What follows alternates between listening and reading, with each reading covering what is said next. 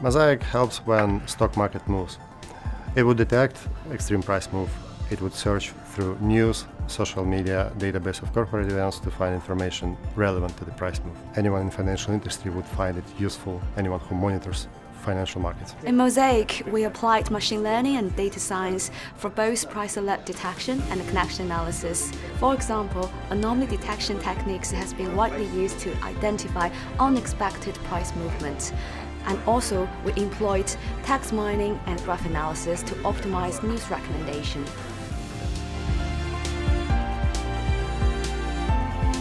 This is important because when price moves, you have to act quickly and your actions depend on why price has moved. That's why you need a tool like Mosaic that would explain it to you or provide relevant information.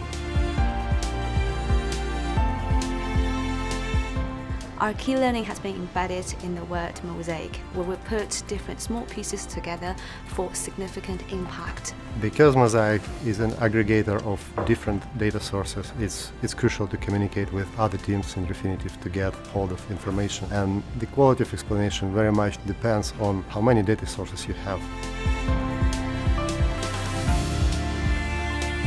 We want to share Mosaic with some of our customers, and based on their feedback, we would concentrate more on data feed or add more data sources.